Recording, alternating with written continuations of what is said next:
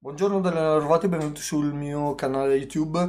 Oggi vediamo un'altra cosa velocissima per eh, un mio cliente che mi ha chiesto appunto, aveva delle perplessità per quanto riguardava sempre le booleane.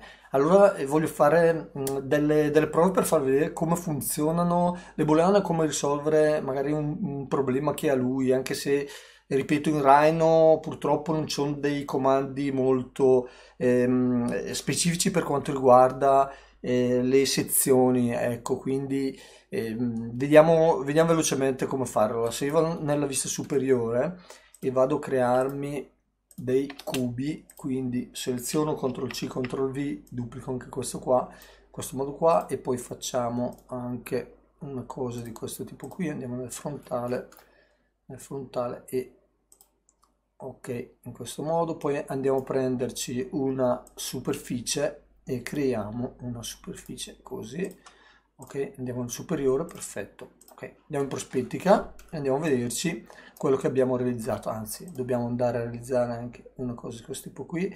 Quindi prendiamo di nuovo un parallelepipedo e andiamo a sezionare questi due cubi in questo modo. Eccoci in questo modo qua perfetto. Spostiamoli un attimo così non disturbano. Allora andiamo a vedere le booleane prima di tutto eh, uno dei cubi lo esplodiamo. Per esploderlo vuol dire che l'abbiamo reso dalle superfici in questo modo qua.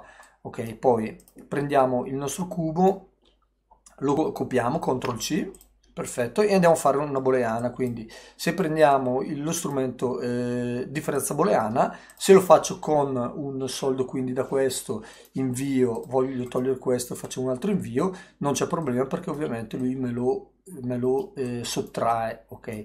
Quindi poi CTRL V, lo rimettiamo al suo posto. Vogliamo fare una differenza booleana con delle superfici, diventa un attimino una cosa un po' più complicata perché ovviamente io faccio differenza booleana, vado a selezionare le superfici alle quali dovrei creare una differenza booleana che è questa qui, do l'invio, gli dico questo, me lo sottrai e vedete che non è successo niente in questo modo qua, vedete quindi non mi ha fatto la differenza booleana perché siamo in presenza di una superficie con un eh, solido.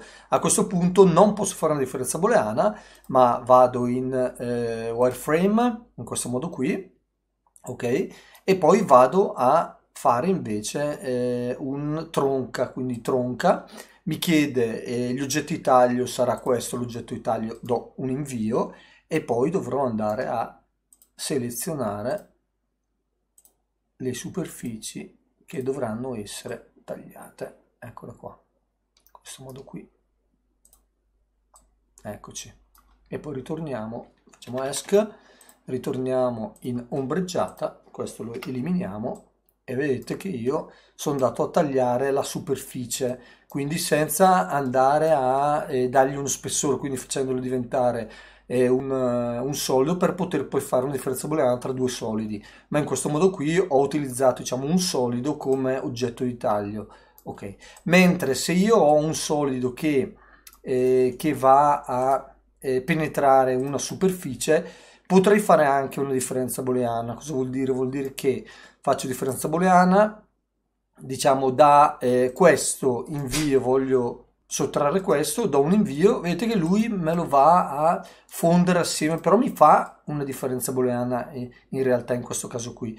Se poi voglio, questo non mi serve più ovviamente, devo selezionarlo, esploderlo ovviamente e poi andare ad eliminare quello che non mi serve in questo modo qua e poi io ho diciamo bucato quello che è il, la mia superficie. Ok, spero che questo video sia stato interessante anche per il mio eh, cliente, ma non solo, anche per eh, altre persone del mio canale. E ci vediamo nei prossimi video. Ciao da Leonardo Rovati, ciao a tutti.